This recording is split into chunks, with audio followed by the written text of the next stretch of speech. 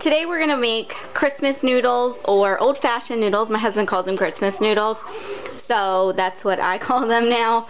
But Aaron's grandma used to make these all the time and she unfortunately passed away before we had Ethan. And I just recently finally figured out how to make them. So I'm to go ahead and share with you guys how I do it. Whether this is the way she did it or not, I couldn't tell you. But this is the way that has worked for me and they come out tasting pretty similar to hers. So the first thing you're to do is get some sort of cooked chicken. What I'm to do is just put some chicken in my oven at 350 for 45 minutes to an hour depending upon how thick the chicken breasts are. And I'm just to season it with a little bit of salt and pepper. So I'm to go ahead and get that started. But you can use a rotisserie chicken. You can use um, chicken legs. Just take pick off the bone and the skin. And you could do this all the day before. I just do it all same day okay so my chicken is done I'm gonna let that cool a little bit and I have my pan here set on high. And what I'm to do is go ahead and dump in two quarts of chicken broth. I just use the chicken broth, um, low sodium, gluten-free, all that stuff.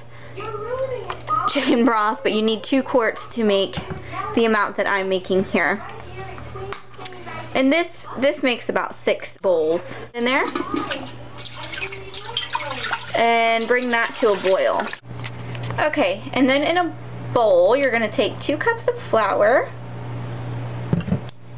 half a teaspoon of baking powder, and you're gonna give that a good mix.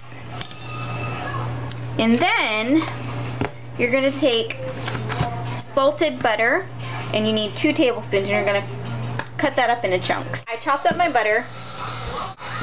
what I'm gonna do is just mush the butter in between my fingers in the flour till it's all smooth. Or as smooth as I could possibly get it anyway. Then next you're going to take your measuring cup and you're going to put a little less than a cup. Um, you might need a full cup, in between 3 fourths and a cup. It really just depends your, with your dough and stuff and if you put enough um, flour and all that in there. So I added just a little bit. I'm going to go ahead and mix this together. And then I'm going to add a little more.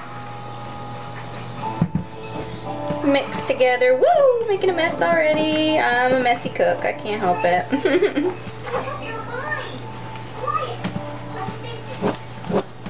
okay.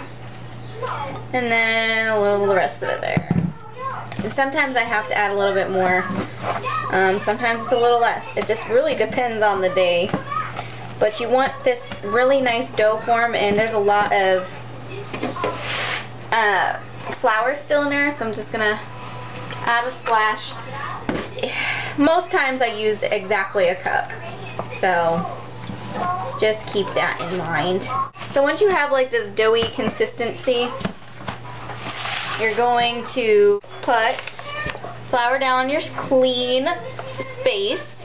Make sure you have a clean surface. I cannot stress a clean surface enough. Broth is starting to boil. So, that's good. Gonna blob this out here. Okay, now I'm gonna take a little bit of flour, rub this on the rolling pin so it doesn't stick to my rolling pin. And then a little bit on top of my dough here. And keep your flour out because you're probably gonna need to um, continue to flour your surface because this dough is going to get sticky as the flour works through it. So what I'm doing is just picking up some flour to try to work it through on my roller. And then you want to, about a fourth of an inch thick. So you just kind of roll it out. So I'm going to go ahead and sprinkle just a little bit of flour on top again because it's starting to stick a little bit.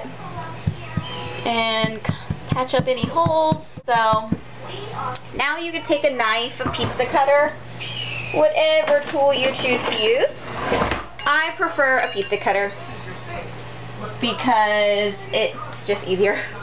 And you're gonna make small little lines here because it's gonna puff up when you start to cook it there's that and then you're just gonna go across and again, like I said, does not have to be perfect, but you do want to kind of make these bite size. And remember, like I said, they will puff up. I'm just gonna do that, and now I'm gonna go ahead and shred my chicken. What you're gonna do is make sure none of these are sticky. If they're sticky, when you go to pick them up, just take a little bit of your flour and kind of just pat it in the flour because you do not want these sticking together. So you want them really floured up and then what you're gonna do is in your boiling water, just drop them in. And try to drop them in one at a time so they don't start sticking together. But as long as you have enough flour on them, they won't. So keep your water boiled and hot and slowly start adding in your biscuit pieces. You're gonna bring your broth back up to a boil and then set your timer for 15 to 20 minutes. I usually do 20 minutes just because some of them um, are a little thicker than I wanted. So I'm gonna go ahead and do 20 minutes and just keep stirring so nothing sticks to the bottom. But keep a consistent boil. And then you're gonna just add pepper to this. All right, so how you know it's done is when your dumplings pretty much sink. And I always taste mine. I pick like the thickest one that I could find and tasted it. And as long as it doesn't taste doughy, it's done. And mine actually still had like 10 minutes on it just because it was sitting in that hot water even though it wasn't boiling. So, you know, you just want to keep an eye on it, keep stirring it, and then taste the noodles once you start to see them sink. And that's pretty much it. Now you just serve it and pepper it up. I'm gonna say this makes about six servings. So there you go. If you have a big family, you're gonna wanna double this because my husband and I and my son will devour this whole pot tonight because it's that good. so I'll see you guys later and I hope that helped. Bye!